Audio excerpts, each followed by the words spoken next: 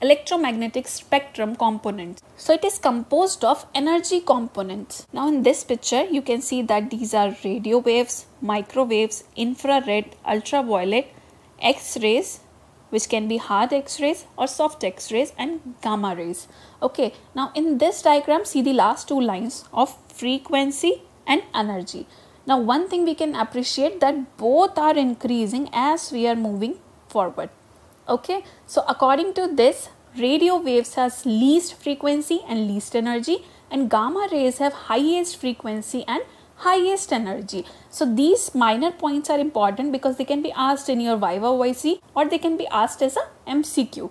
So the X-rays have high energy and frequency and gamma rays have highest energy and frequency. Okay. So as I said, radio waves have least frequency, least energy and gamma rays have highest frequency and highest energy.